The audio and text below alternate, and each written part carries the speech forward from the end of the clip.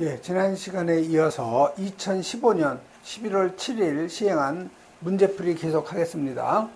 자, 11번 나갈 차례죠. 그래서 11번에 보시면 요 그림과 같은 요 자동화재 탐지 설비에 요 개통도 하고 요 조건을 갖다가 참조해서 강 물음에 답하시오 했죠. 그래서 조건을 보시면 연면적이 예, 5,000제곱미터이고 종단 저항은 요 감지기에 말단에 설치한다고 되어 있죠. 그다음에 이 경보 방식은 발화층 및 직상층 우선 경보 방식으로 한다는 거죠. 자, 물음 가번을 보면 A에서 D에 전선의 가닥 수를 쓰라는 거죠. 그래서 여기 A부터 B, C, D까지 있는데 전선의 그 가닥 수예요. 그래서 전선의 가닥 수는 여러분이 회로선, 그 다음에 회로의 공통선, 그 다음에 경종선, 그 다음에 요 전화선, 그 다음에 응답선, 그 다음에 표시등, 그 다음에 경종, 표시, 공통선이죠. 그래서 요 A에 요 가닥수를 한번 살펴보면은요, 요 부분이 바로 A죠. 그래서 여기는 여기 번호가 있는데 1번부터 몇 번까지 있어요? 15번까지 있죠. 바로 요 경계 구역이 15번까지 있다는 거, 15개라는 거죠. 자, 그러면 요 A의 위에 보면 여기 경계 구역 여기 하나 있죠? 여기 둘, 여기 셋, 여기 계단이 있죠? 그래서 총 경계 구역이 4개가 되는 거예요. 즉, 회로가 4가닥이 되는 거죠. 자, 회로 공통선은, 예, 회로가 7 이하니, 이하니까 한 가닥이면 되죠. 그 다음에 경종선은 지금 6중 하나만 담당하죠. 그래서 경종선은 한 가닥, 전화 한 가닥, 응답 한 가닥, 표시등 한 가닥, 경종 표시 공통 하나. 그래서 총 몇 가닥이에요? 예, 10가닥이 되는 거죠. 그래서 A는, A는 바로 가닥 수는 10가닥. 그 다음에 B로 가죠. 자, B는 요 부분이에요, 요 부분. 자, 이 부분은 경계구역이 우회, 우회가 몇 개인가 한번 살펴보죠. 여기 9번, 여기 8번, 8, 9, 10, 11, 12, 13, 14, 15. 경계구역이 총 8개가 되는 거죠. 그러니까 회로가 8가닥이죠. 그 다음에 회로 공통. 여기 회로가 7이 넘어갔죠? 그러니까 회로 공통선은 두 가닥, 경종 한 가닥, 전, 어, 경종이 한 가닥이 아니죠. 자, B는 몇 개 층을 담당해요? 4층, 5층, 6층에서 3개 층 담당하니까 우선 경보, 경보 방식이니까 세 가닥이죠. 전화 한 가닥, 응답 한 가닥, 표시등 하나, 경종 표시 공통 한 가닥 해서 총 17가닥이 되는 거죠. 다음에 C로 가죠. 자, C는 바로 밑에 있는 부분이에요. 여기. 여기가 바로 C죠. 자, C는 경계구역이 6번, 7번, 8번, 9번, 10번, 11번, 12번, 13번. 그럼 여기 14번 있죠? 그 다음에 여기 계단이, 계단이 지금 15번이라고 위에도 15번, 예, 밑에도 15번. 요거는 경계구역이 같은 경계구역이에요. 즉, 우리 감지기가 수직거리 15m마다 설치하는 거죠. 경계구역은 45m마다 예, 하죠. 수직거리. 그래서 지금 45m가 안 되기 때문에 경계구역은 하나가 되는 거죠. 즉, 감지기는 두 개가 설치돼도 요거는 같은 계단 감지기예요. 그래서 여기서는 발신기에서 요 계단 쪽으로 감지기가 두 가닥이 가는 거죠. 그래서 두 가닥 연결하고요. 두 가닥이 되돌아와서 공통선은 안 올라가고요. 요 계단 감지기 선만 또 올라가는 거죠. 그래서 올라가서 이쪽에 계단 감지기 연결하고 계단 감지기 종, 어, 종단장은 감지기 말단 여기에다가 종단저항 설치하는 거죠. 그래서 여기는 종단저항이 없는 거예요. 그래서 요 C구역은 경계 구역이 하나, 둘, 셋, 넷, 다섯, 여섯, 일곱, 여덟, 아홉 계단까지 10개 구역이 되는 거죠. 그래서 회로가 10회로가 되는 거요. 회로 공통선은 아직 14는 안 넘었으니까 회로 공통선 두 가닥. 경종 몇 개 층 담당해요? 3층부터 6층까지니까 4개 층이죠. 그래서 경종 4가닥.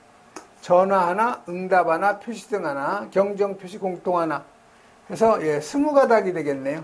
그래서 C는 20가닥. 다음에 그 D의 전선 가닥 수죠.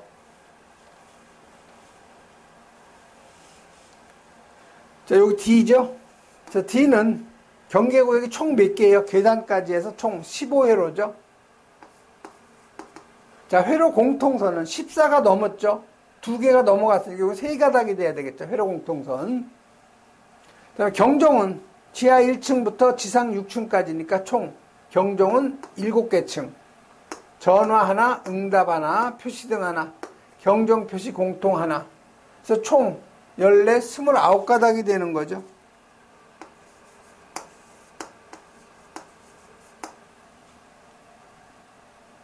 상당히 그 쉬운 문제예요. 주의해야 될 것은 여러분 요 계단이죠. 그래서 요 계단은 둘 다 15 경계구역이기 때문에 이게 같은 경계구역으로서 회로선이 한 가닥으로 된다는 거죠. 다음 물음 나는 뒤에 전선 가닥수에 대한 전선 내역 요 뒤에 가닥수의 내역을 쓰라는 거죠. 회로 15가닥, 회로 공통 3가닥, 경종 7가닥, 전화, 응답 표시 등, 경종 표시 등 각 한 가닥씩 여러분이 써주시면 되는 거죠. 무름라는 전체 경계구역의 회로수예요. 즉 경계구역이 몇 개냐 그 얘기죠. 15개죠. 그러니까 요 경계구역의 회로수는 15회로 요 회로라는 것이 어떤 말하고 같은 얘기예요? 다시 말해서 지구하고 같은 얘기예요. 그래서 우리가 회로선, 지구선 이렇게 같은 말을 쓰는 거죠. 그래서 요 회로라는 것은 경계 지구를 의미하는 거죠. 그, 그 물음 그 라, 마루가죠. 자, 물음 마는 뭐예요? 감지기의 그 도시 기호를 물어본 거죠. 이게 정원식 스포트형인데 여기 가운데 이렇게 그 일자를 쓴 거. 이게 그 정원식 스포트형 감지기인데 요거는 그 방수형이라는 거 여러분이 꼭 암기를 하셔야 되죠.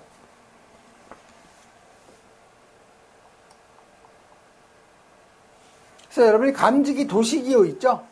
이거 시험에 종종 출제가 되니까 꼭 여러분이 암기하셔야 돼요.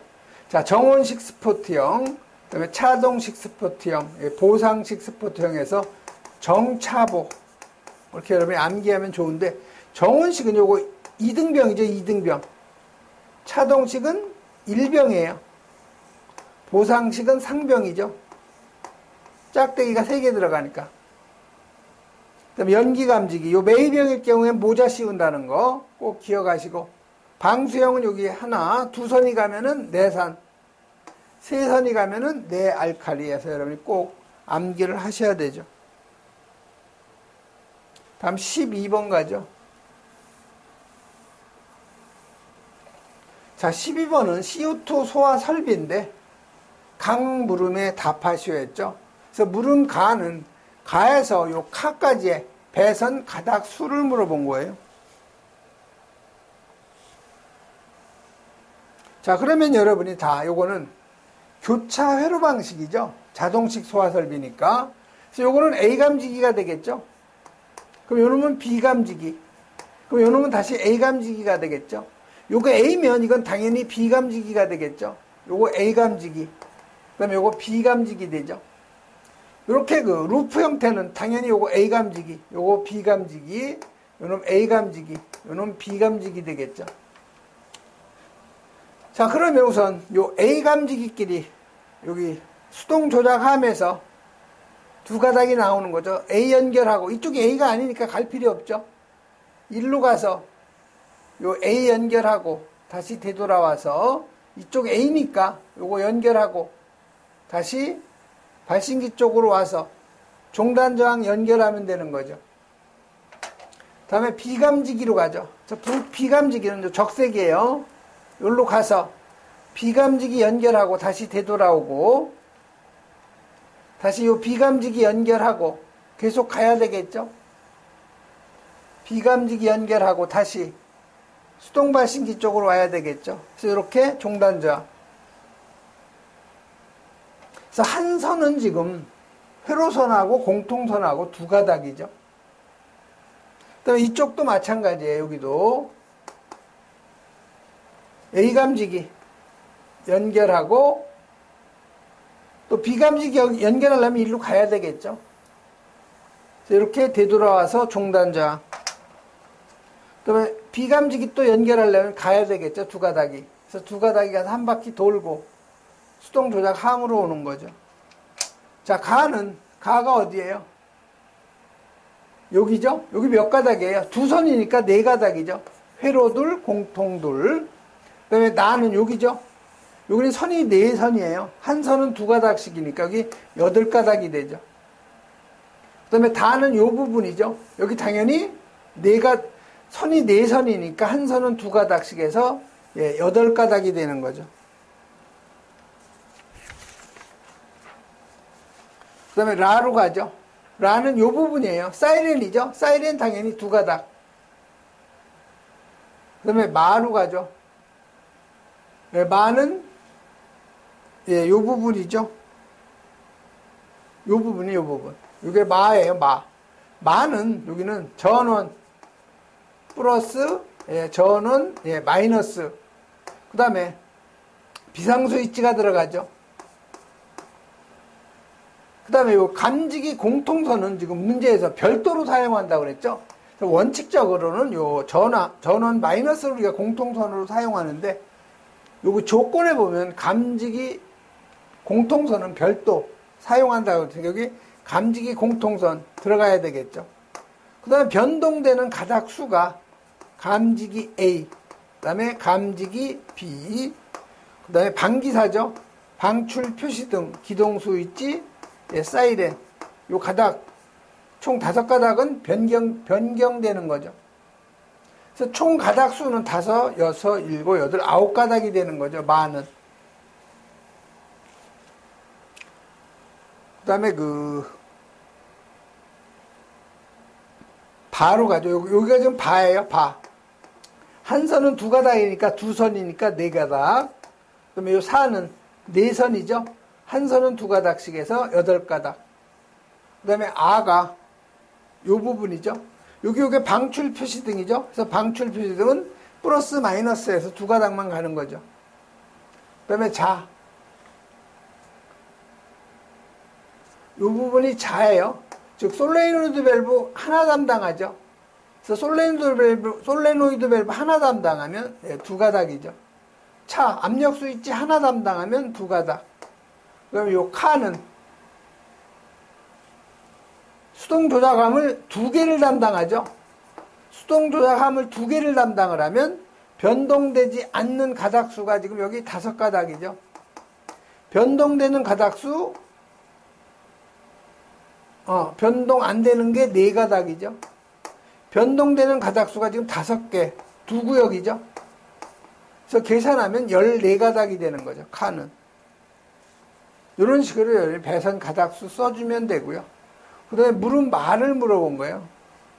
그래서 말은 이 부분이죠. 배선 용도를 갖다가 쓰라고 되어 있죠. 해, 해당 배선 가닥수도 쓰라는 거죠. 그래서 첫 번째가 이게 전원 플러스죠. 이거 한 가닥이죠. 전원 예, 마이너스 한 가닥. 비상 스위치 한 가닥. 감지기 지금 공통선 별도로 사용하기 때문에 한 가닥 들어가면 되겠죠. 뭐한 가닥까지 쓸 필요 없게 그냥 배선의 용도. 그 다음에 다섯 번째는 예, 감지기 A, 감지기 예, B, 그 다음에 방기사죠. 방출 표시 등 기동 스위치, 사이렌. 그래서 방기사. 그래서 여러분이 아홉 가닥 내역을 여러분이 써주시면 되죠.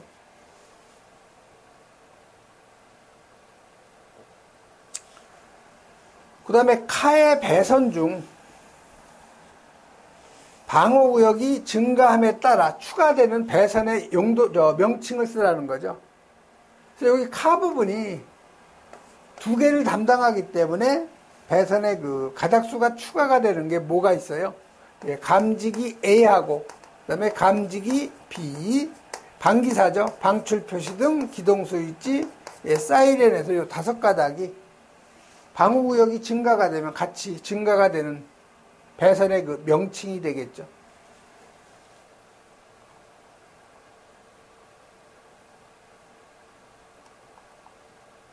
다음 13번 가죠. 자, 요 13번 여러분이 좀 관심 있게 봐야 될 것이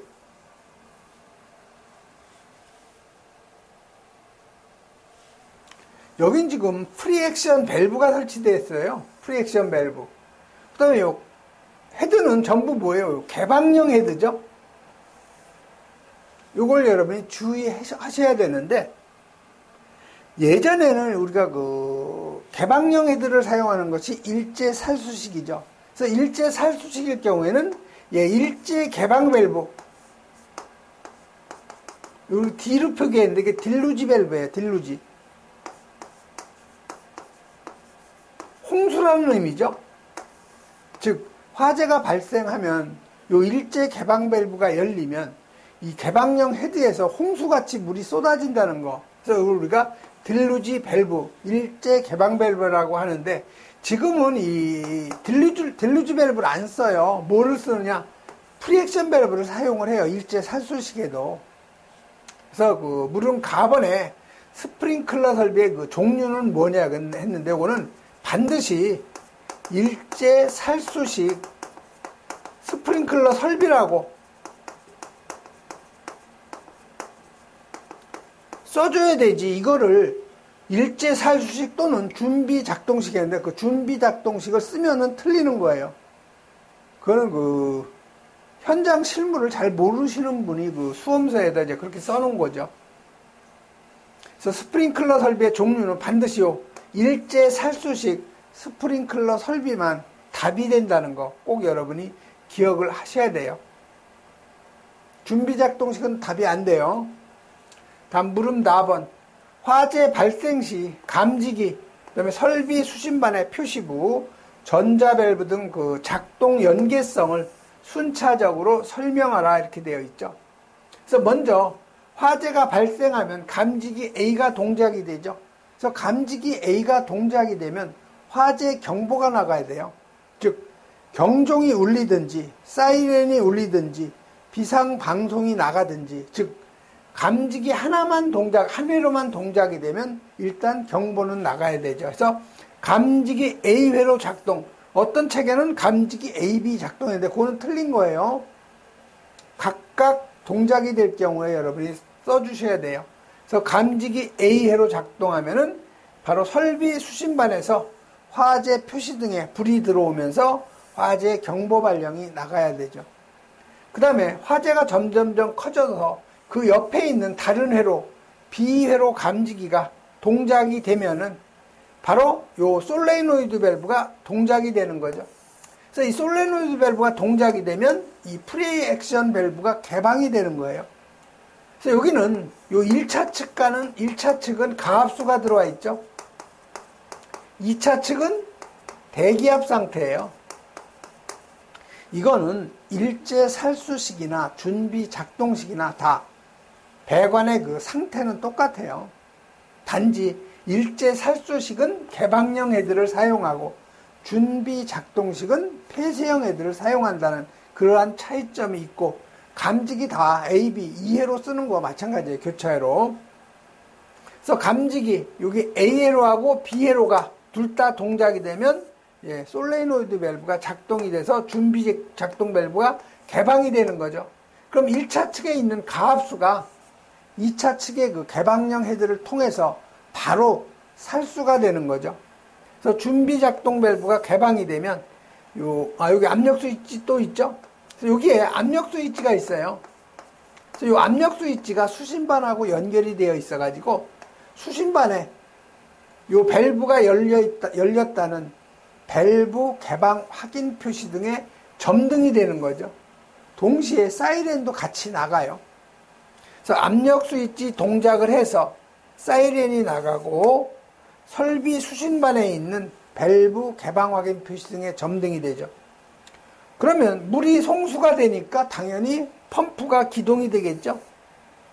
그러면 개방된 헤드로부터 소화수가 방사가 돼서 진화가 마무리되는 거죠.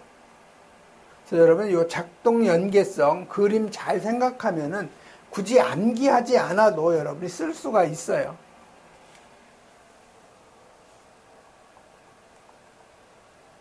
다음 14번 가죠.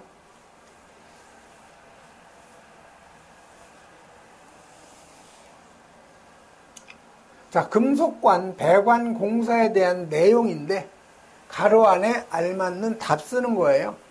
저 배관을 조영제 그 표면에 따라 노출하는 시구하는 거. 바로 노출 배관 공사. 이건 뭐 쉬운 얘기죠. 노출 배관 공사. 콘크리트 등으로 그 매입하는 거. 그거는 매입 배관 공사죠. 또 천장 속에 선을 갖다가 넣어서 그 시공하는 거. 요거 천장. 예, 은폐 공사죠. 그 다음에 관의 호칭은 안찌름의 근사값을 요 짝수로 표기한다는 게 이게 바로 후광전선관이죠.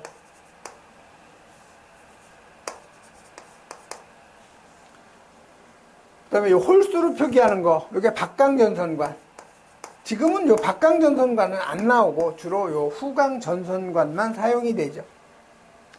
금속관 내에 사용하는 전선은 당연히 절연전선이 돼야 되죠. 금속하고 접촉이 되면 안 되겠죠.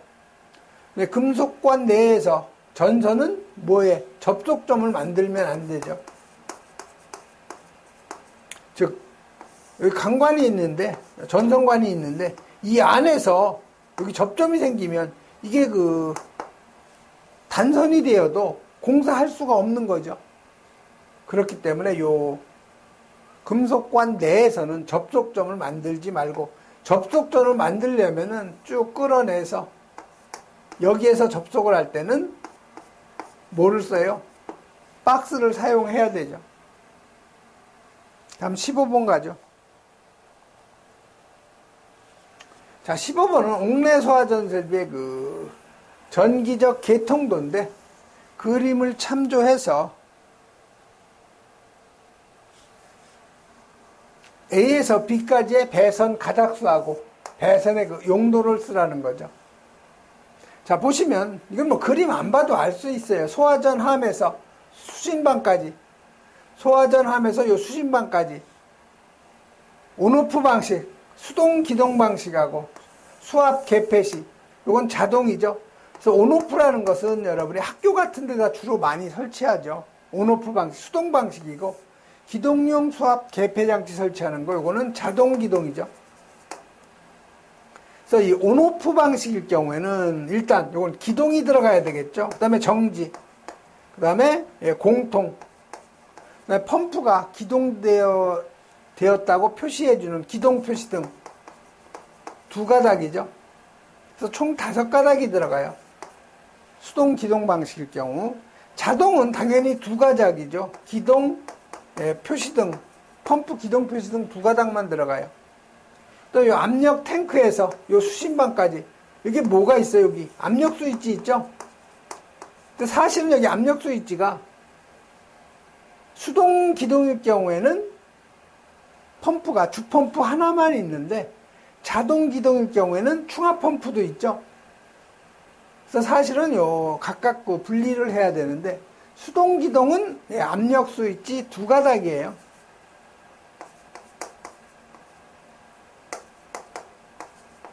자동 기동일 경우에는 예, 압력 스위치가 네 가닥이 되는 거죠. 네 가닥이 아니라 세 가닥이 되는 거죠. 즉 공통 한 가닥, 압력 스위치 두 가닥이 되는 건데 여기서는 그냥 압력 탱크 수신반 했으니까 여러분 두 가닥만 써주셔도 되죠. 그럼 이 MCC에서 이 수신반은 기동들 뭐 기동 표시 이렇게 둘 두어져, 주어졌는데 이건 사실은 원칙적으로 이거 네 가닥이 아닌 예, 다섯 가닥이에요. 그래서 여기는 들어가는 그 배선의 그 가닥 수는요.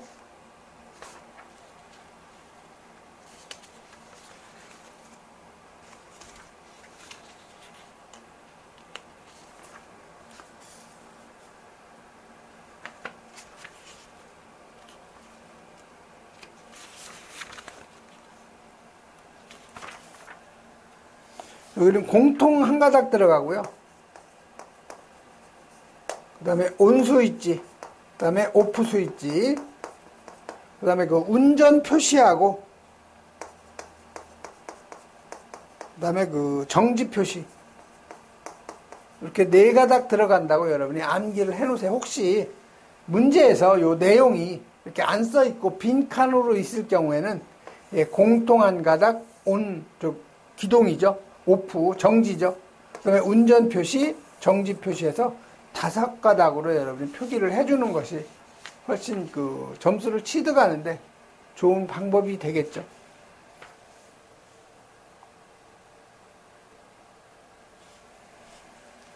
예, 이번 시간에는 여기까지 하겠습니다.